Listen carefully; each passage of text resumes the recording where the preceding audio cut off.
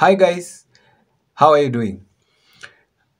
We know that one of the things that disqualify many DV lottery applicants from being selected is the photo requirements.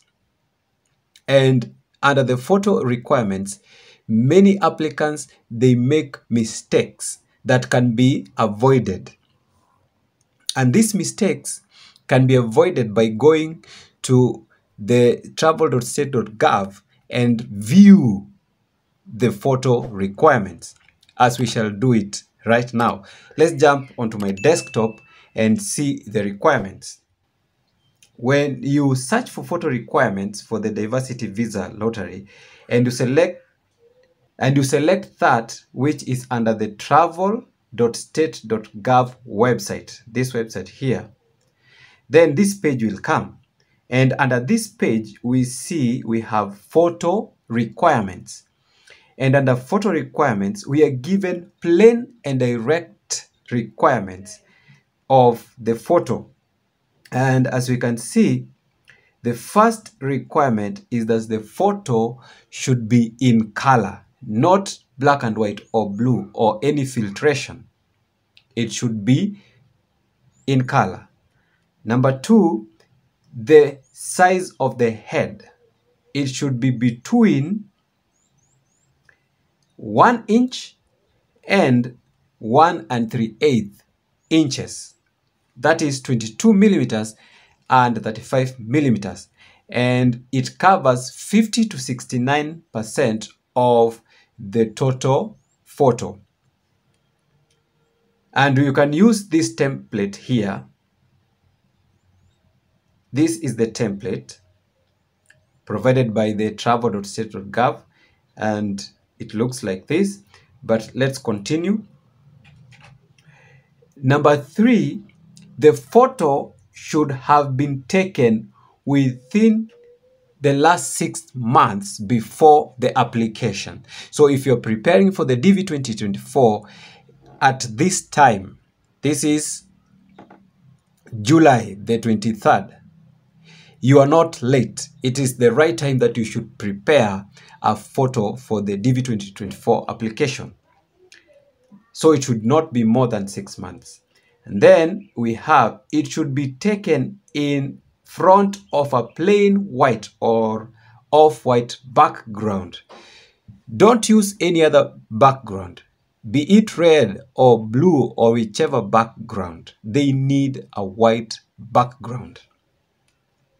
The other requirement, it should be taken in full face view directly facing the camera. Your face should be directly facing the camera, not sideways or tilted sideways or downwards. Should be directly facing the camera. The other requirement, you should have a neutral facial expression.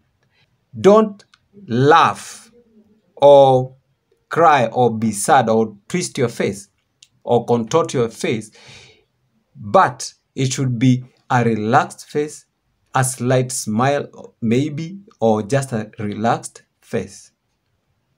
No exaggerations. It should be taken in clothing that you normally wear on your daily activities. Just wear plain clothes that you wear on a normal daily activity. The other requirement, uniform should not be worn in your photo. Maybe you are a policeman or you're a, a military officer. You should not wear your uniform when taking the photo. The other requirement, do not wear a hat, a head covering that obscures the hairline unless it is worn on daily basis on the purpose of religion. Like for example, the Muslim. Only one on daily basis and on the purpose of religion, but no wearing hat or any veil that covers the hairline. The other one, you should not be wearing your headphones, your AirPods, or your earphones whichever the gadget, you should not have anything worn on your ears. Eyeglasses are no longer required. So even if you are using the spectacles or the eyeglasses, you should remove when taking the photo. But there is an exception. If your eyeglasses are by a physician, maybe you have undergone a medical treatment that requires you to have your glasses on. That is an exception, but the frames of the eyeglasses must not cover your eyes. There must not be a glare on the glasses that obscures the eyes. There must not be shadows or reflection from the eyeglasses that obscures the eyes. And finally, if you normally wear a hearing aid or a hearing device or similar articles, they must be worn in your photo. If you normally wear a hearing aid because your ears are impaired, then you should be wear them in the photo. Those are the few requirements of the photo. And if you follow these requirements, then your photos will be perfect for the application. Now, let us look at the examples provided here, review the examples. When you click this link, then you come to this page here. And under this page, we see the provided photo examples.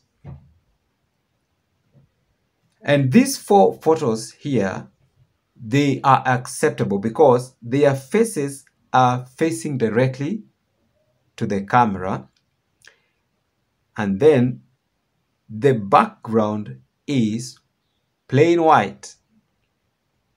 And as you can see, for the religious clothing that covers the head that is worn on daily basis is also acceptable here.